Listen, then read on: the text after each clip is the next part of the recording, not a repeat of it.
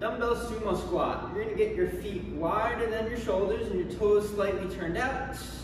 You have the weights start kind of in front of you and you're gonna sit straight down, press into those heels, stand up tall.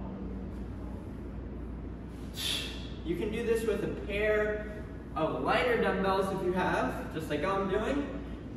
If you have one heavier dumbbell and can rest it on its side, you can set up with the dumbbell to start on the ground, squat straight down, push into those heels.